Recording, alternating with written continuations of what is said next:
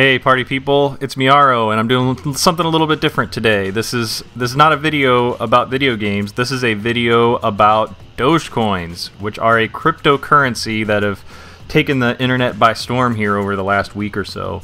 And uh, so, th- so, this is not. Let me start this by saying this is not a super in-depth tutorial on how to get set up to do Dogecoins. There are way better tutorials than I could ever create all over the internet. There's tons of them.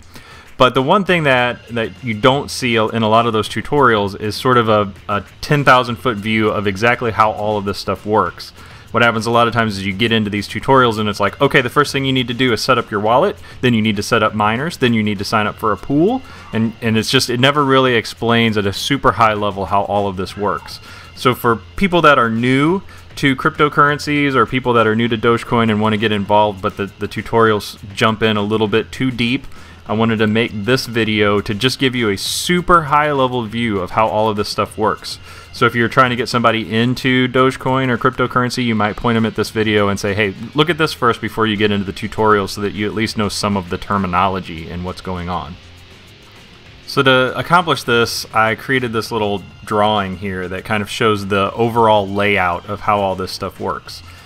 So there's there's two pieces of software that live on your computer. The first one is your wallet, and your wallet is basically where all of your personal Dogecoins are stored.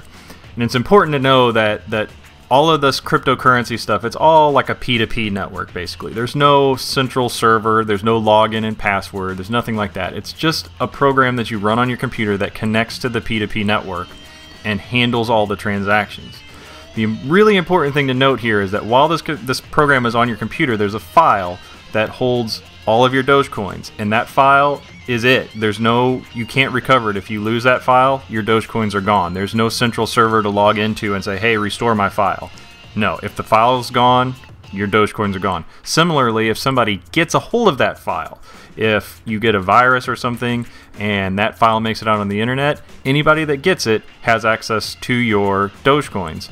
So you want to make sure that you protect that file, you want to make sure that you back that file up, and there's usually an option to encrypt the file, and you want to do that as well because, like I said, if somehow that file makes it out onto the internet, anybody that finds it has full access to your Dogecoins and you can't do anything about it. So the wallet is a program that runs on your computer, it connects to the P2P network, and it handles sending and receiving Dogecoins. So that's great if you could get somebody to send you a bunch of Dogecoins, but typically what people do is they mine Dogecoins. And the way cryptocurrencies work is that computers are given a math problem to solve. And once they solve this math problem, then a large block of coins is generated. They kind of materialize out of nowhere. And that's great, except that it might take a computer two or three or four weeks to, to crunch through one of these math problems and actually generate the coins. So instead of doing that, what people do is they join something called a mining pool.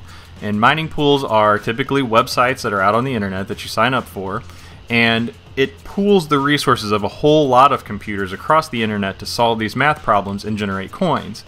And what happens then is once the coins are generated, once the block of coins are generated, it distributes this website will distribute the coins to all of the people that took place in solving the math problem proportionally to how much effort they spent so a faster computer gets more uh, more of share of the coins than a slower computer so one of the things you need to do when you start to get into dogecoins is you want to sign up for a pool and get all that ready to go the pool that I use is called Dogehouse. There's a million different pools out there. This one has been super reliable for me. It, it, takes quite a bit of processing power on the server that, that the, the pool is running on. So a lot of times you'll see a pool pop up and then it kind of bogs down or it has some problems processing everything. Dogehouse has been super solid for me and it's always it's always been there and it's always paid out like like it says it will. So take that as a recommendation if you'd like or, or feel free to experiment around. You're never tied to a specific pool you can you can hop around if, if one of them that you join is is having trouble or you're just not you're not having great results with it and i'm not going to go into the details on exactly what you need to do to sign up again there's so many tutorials out there already I just want you to kind of, I'm making this video so that you have an idea of all of the pieces that are involved. So when you do read the tutorials, you'll know what you're reading about. Okay, the last piece of the puzzle is the part that is, a, is the program that you run that makes your computer actually do the mining. This is the this is the program that solves the math problem.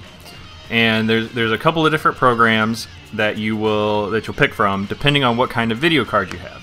And it's it's important to note that just your CPU that's in your that's in your computer is not it's not good at this particular type of math problem, but video cards are, specifically gaming video cards, are really good at these problems. So if you have an ATI card, which is now they're rebranded as AMD, so the Radeon type cards, if you have one of those, or if you have NVIDIA cards, the GeForce cards, those are the kinds of video cards that are really good at solving this math problem. If you don't have one, you can you can try to, to mine Dogecoins, but it's going to be way slower and it's just not going to pay out at a reasonable rate, most likely. So the thing to note here is that if you have an ATI or an AMD card, a Radeon card, you're going to want a program called CG Miner. And if you have an NVIDIA card, you're going to want a program called CUDA Miner, or maybe CUDA Miner, I'm not sure how you say it. But they both work basically the same way. And what's going to happen is you're going to set up some, some stuff on the mining pool website, and then you're going to take that information and you're going to you're going to feed it to CG Miner or CUDA Miner, and then the work is going to happen. And, and those those two programs will both handle the communications back and forth between the mining pool and your computer. And you're gonna hear your computer. You know the the fans are gonna spin up on your video cards. It's hard work. So you're going to want to make sure that your cards don't overheat, all that kind of stuff. And again, there are tutorials. There are so many tutorials everywhere, and they're all great. So so get out there and look around. I, I really can't recommend the subreddit enough. Slash r slash Dogecoin.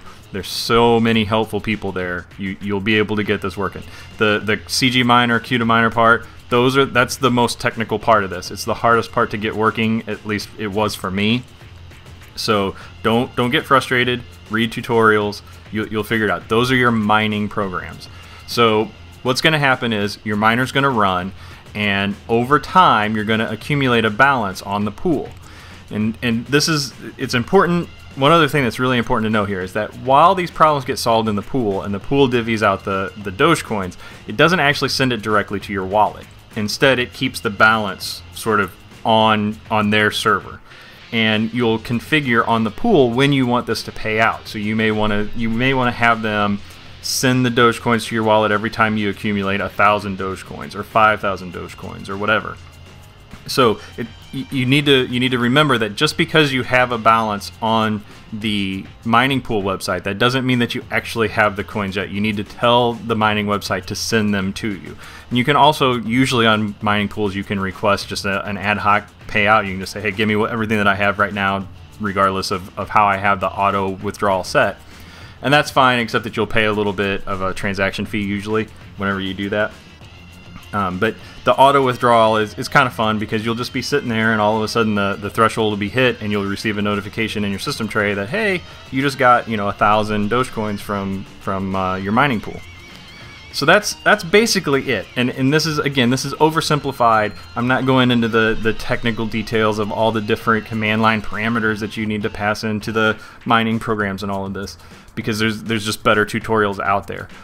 Hopefully though now you have a picture uh, you have the that big picture of how everything fits together. So when you start to read the different tutorials, you'll know what they're talking about. You won't be going in blind and you just see all of these weird command line switches. You're like, I don't even know what CG miner, what is that? I don't. Now, hopefully, you at least you could you have this picture and you you see how it all works. And hopefully this has just been a nice introduction to how all of this goes so that you can more easily understand the tutorials that are out there.